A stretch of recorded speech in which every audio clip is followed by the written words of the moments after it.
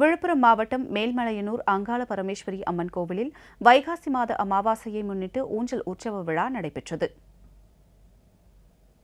செஞ்சி அருகே உள்ள மேல்மலையனூரில் அமைந்துள்ள பிரசித்தி பெற்ற அங்காள பரமேஸ்வரி அம்மன் கோவிலில் மாதந்தோறும் அமாவாசை தினத்தன்று நள்ளிரவில் ஊஞ்சல் உற்சவ விழா நடைபெறுவது வழக்கம்.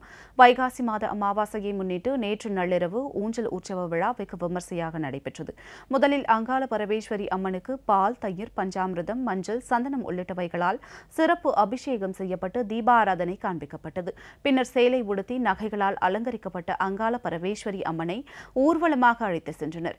கோவில் வெளிப்பிரகாரத்தில் தாலாட்டு மண்டபத்தில் உள்ள தங்க ஊஞ்சலில் அங்காள பரமேஸ்வரி அம்மன் அமர வைக்கப்பட்டு தாலாட்டு பாடும் நிகழ்ச்சி நடைபெற்றது. அப்போது பம்பை உடுக்கை மேலதாளங்கள் முழங்க தாலாட்டு பாடப்பட்டது. ஊஞ்சல் உற்சவ நிகழ்ச்சியின் ஆயிரக்கணக்கான பக்தர்கள் கலந்து கொண்டு சுவாமி தரிசனம் செய்தனர்.